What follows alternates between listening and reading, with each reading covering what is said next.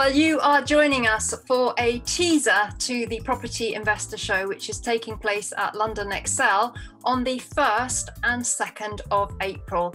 And uh, today we're running a panel debate to highlight one of the debates that's going to be taking place at the show. And that debate is called How to Be Savvy at Due Diligence. And I'm joined by three lovely ladies who are going to share their views on this with me. I hasten to say we did have some gentlemen that we wanted to invite along, but they couldn't make it. So uh, it's a little bit like the Spice Girls of property today, isn't it? so, ladies, um, welcome to the debate. Uh, Louise, could I come to you first? Just give us a quick overview um, of your business. Yeah, so I've been um, an investor, a landlord, um, and latterly developer since 2007. Um, my first investment I actually made abroad in Poland, which some people would consider being quite high risk because a lot of people are averse to even investing beyond their doorstep. Um, so for me, you know, getting savvy and checking things out. So for me, due diligence is about checking and researching thoroughly before before leaping and it's something that's very close to my heart because I am quite a risk averse investor. Um, so I carry out lots of due diligence before I invest, but also my business, Property Venture, which I started in 2007, I help investors, particularly um, distance investors specializing in expats, I help them invest in UK property. So I help them with de-risking or using due diligence appropriately for their investments as well. I don't ever um, assume that I um, have done all of the due diligence on their behalf, but I, I, I go partway down that track, but also encourage them to uh, check things out for themselves as well. How about you, Patricia? You've got the money tree. Property money tree, yes. So after working for decades really in, in, in law as a solicitor, I finally decided to do something that I'm really passionate about, and that was working in property. I absolutely love it. I'm passionate about it. I, I cannot tell you how much I enjoy working in property. And that is when Property Money Tree was birthed. Um, so I, but I first became a landlord in 1986, ages and ages and ages ago. And you don't look old enough. Thank you. I'll take that as a compliment. And um, so through the years of my legal practice, I've been, you know, running my property business, but not very well because I had to rely on other people to do the management for me, to find things for me, to do the building works, to project manage and all of that. And I made so many mistakes with the choices that I made, with the people that I employed, all of those things. But when I started actually working for myself, I then just suddenly thought if only there'd been someone there who could actually have told me the things that I now know, I'd have made oh, fewer mistakes. So I try and share my experiences with other people in a podcast, which is called Maximizing Property Values. And Louise has been on it. Um, and I just, I just, I just love sharing, uh, you know, my experiences with other people. Um, so I continue to be a landlord and, you know, buy things and develop them and, you know, just, just enjoy being in property. And that's me really. Fantastic. What about you, Hailey? And so I've been, uh, so I purchased my first property 20 years ago. I'm a bit of a due diligence freak, the same as you ladies, and I love the idea of us being the Spice Girls of property. um, uh, so great, great name for us. I think we should carry that through, Louise, when we uh, do the panel live. Um, but yeah, I, I, am a portfolio landlord. I've been in the industry for a really long time. I absolutely love property.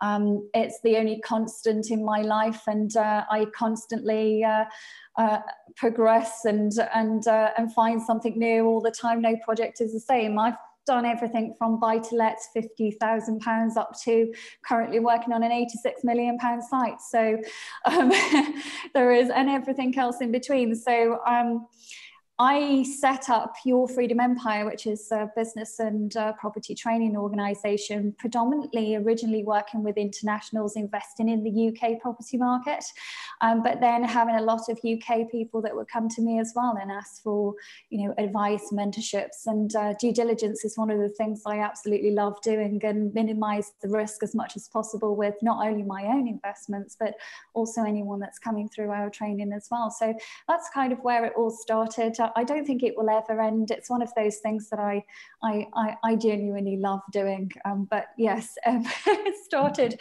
accidental landlord really, and uh, as many of us probably did start out, um, and uh, and just progress from there. Mm. Well, we're we're having this panel debate uh, at, a, a, very interesting time in the property sector because we've um, had a number of market shocks. Um, obviously, Brexit. Uh, uh, COVID 19 pandemic, um, you know, there are concerns that the uh, Russian Ukraine war will uh, impact certainly on the economy, and that's very much tagged to the property market.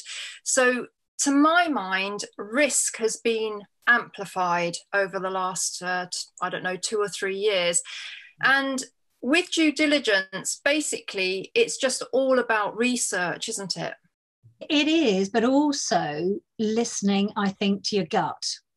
Um, and I think I think the more experience you get under your belt, I think the more your gut instinct can help guide and act as your barometer or steering wheel, if you like. Um, there have been a number of times when I've just known something hasn't quite felt right and I've not wanted to move forwards with it until I've checked a, a few things out. Um, so yeah, research is key, but I think I think it's also you know using the pareto 80-20 rule using your gut instinct to sort of guide where you focus your due diligence because otherwise you could be spending days and days, weeks and months just doing desk research and not getting very far. So I, I think it's very much about prioritizing and targeting the areas that you want to focus in a bit more on in terms of doing due diligence. Mm-hmm.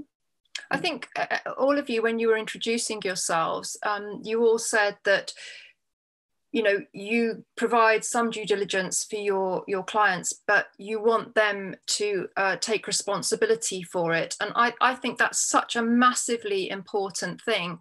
I always say if i uh, you know recommended an investment to my mum i wouldn't want her to take my word for it i would want her to do her own due diligence and hailey it, it came across to me that you felt very strongly that that you know if people undertake their own due diligence and they're trained how to do it, they're standing in a position of responsibility for their own actions. And, and that's a very empowered place to stand, isn't it?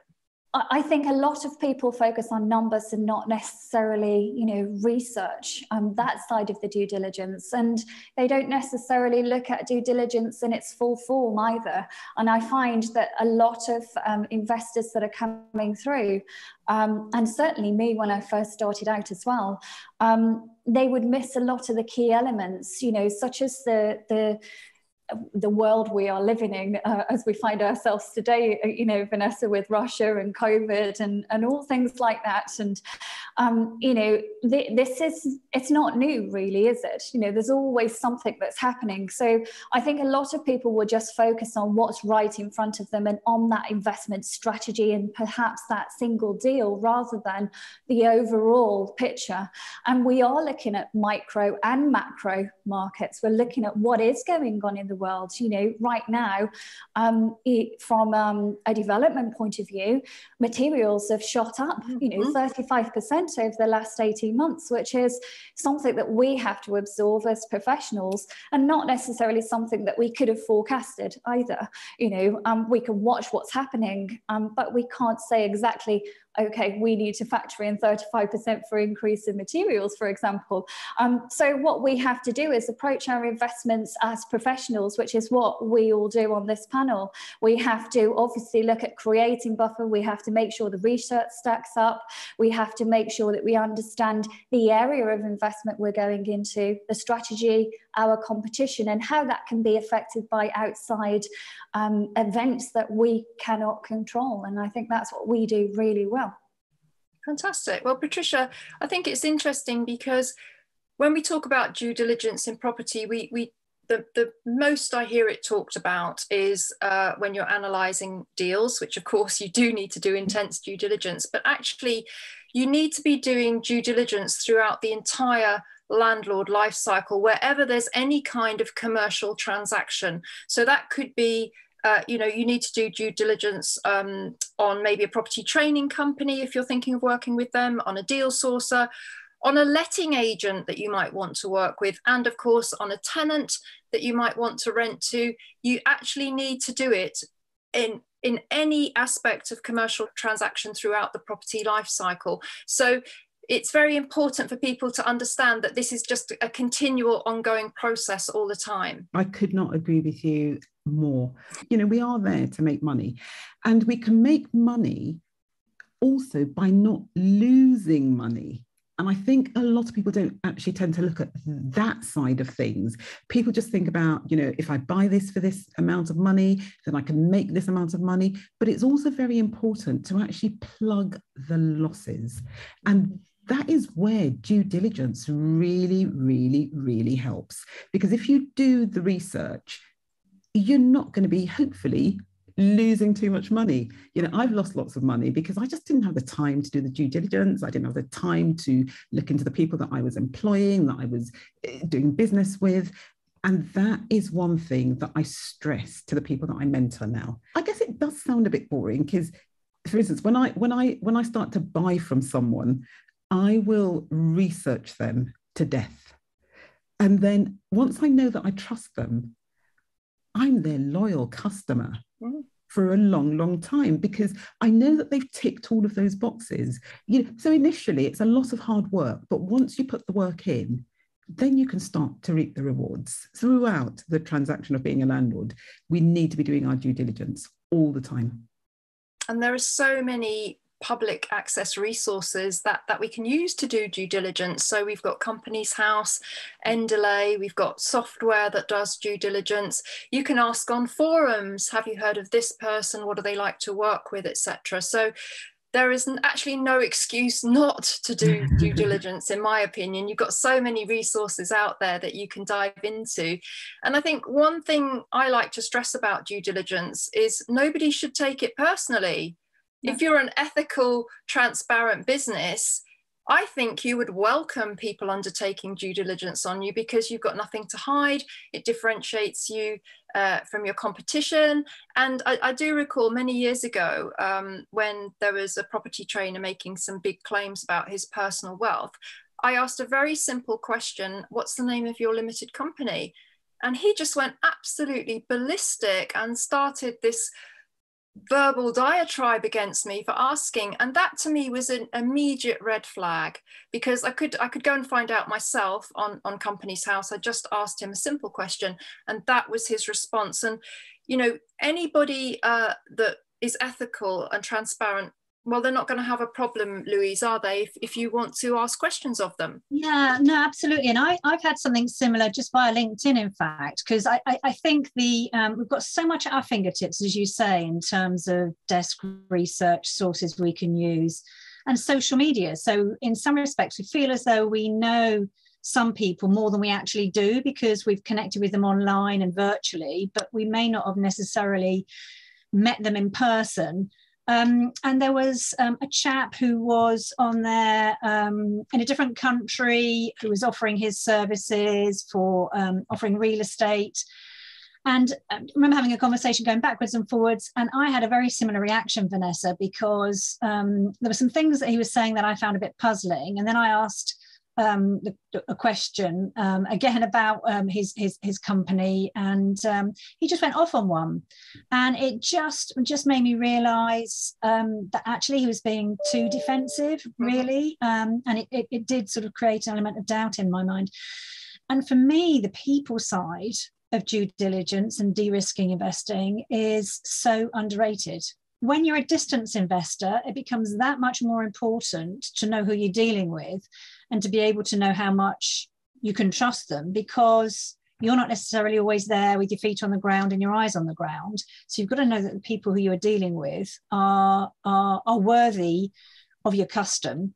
Um, and uh, I mean, you've mentioned agents, you mentioned um, other people in, in the, there's so many people involved in the property investment process that it just takes one bad apple um, and it can really upset the apple cart. And mm-hmm. so um, I, I, think we do have to take care not to be lulled into a false sense of security by this virtual world we're in. Mm-hmm. There is still so much to be said for really um, sounds a bit odd if I say scratch and sniff, but you know, you know, actually physically, physically. That's the name of our first single. we need to make up a dance for that now. I, I, I totally uh, hear what you're saying, Louise. Um, I think you know we hear a lot about people relying on social proof, and obviously since the advent of the social web, social proof has become much more uh, much more of a factor in people's decisions, perhaps wrongly so, because um, a lot of it can be manufactured. Uh, you know, we've got Trustpilot under scrutiny now um, because of the amount of fake uh, and incentivized reviews. Uh, you know, we've had the uh, collapse of the JVIP group earlier uh, a couple of days ago. a lot of people saying, well, I was introduced by a trusted mentor or a trusted friend. Um, there is this element of social proof which which can mislead people and it, it just really goes back to what i was saying about don't take anybody's you know word for anything you must uh, undertake the the work yourself. And if you're not sure how to um, then ask for help. There's plenty of help out there. I mean um, hailey what what would you say uh, would be your kind of top due diligence tip we actually vet all of the teams that we work with. So, um, from that point of view, um, we make sure that everybody is fully compliant, etc. They're registered with the correct bodies, they've got a complaints procedure, all things like that. Um, Those are very, very good points. Thank you. Because so often we see companies that don't have their company number on their website, which is a legal requirement.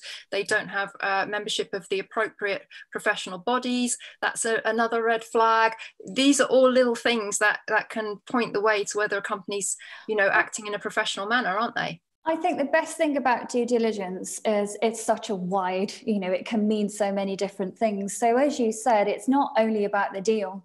And in fact, it's less about the deal and more about the people you're working with, the areas you're investing in, your exit strategies, your lending capability, straight through to project management and taking that investment through to fruition. So, it is a full ongoing and it doesn't end. You know, if you sell that property, okay, perhaps it ends and then you start again but you become a landlord, you're vetting, of course, your lettings agencies, and then you're monitoring and maintaining that portfolio as well. You know, this idea of passive is, is never truly passive.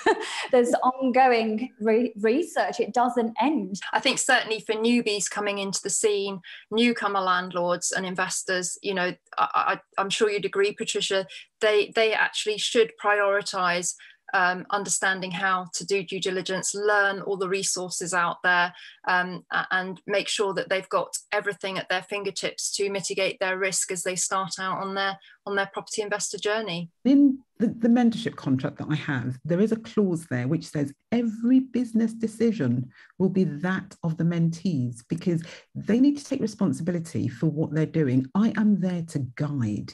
Well, we will be putting a link to the uh, show registration under this video.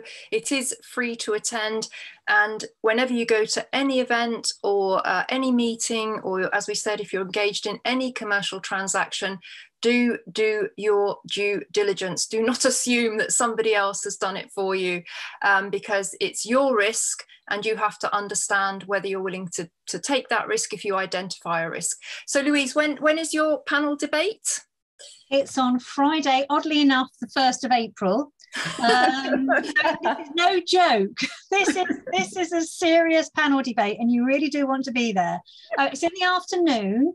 Um, I think it's three o'clock that it was scheduled in. But anyway, on that Friday the first in the afternoon, do do come and uh, find us. We're in one of the rooms upstairs, I think. So I think it's going to be a really great um, debate. And also the audience will have the chance to put their questions to the panel. So it's we've got lots of things to share. I've got lots of questions to ask um, Patricia and Hailey and, and, and share my own experiences as well. But it's also the opportunity for the audience to ask a question if they, you know, they don't know how to go about something or they've got a burning burning desire to find out something. So it'll be a great interaction. Well, that's what I love about debates because they they just tease out the issues. That's why they're so powerful. They're such a great thing for the community. So, um, thank you, ladies, for joining me uh, on this first debate for the Property Investor Show. As I said, it's a little preview for the event, uh, which is taking place at London Excel on the 1st and 2nd of April. Um, and go and join these ladies in their due diligence debate and uh, become even savvier at undertaking the due diligence process. And as I said, I'll put the link to free tickets underneath the video. So thank you to my lovely guests, and I wish you a very successful panel debate on the day. Thank you. Thank you, Thank Vanessa. you. Thank you.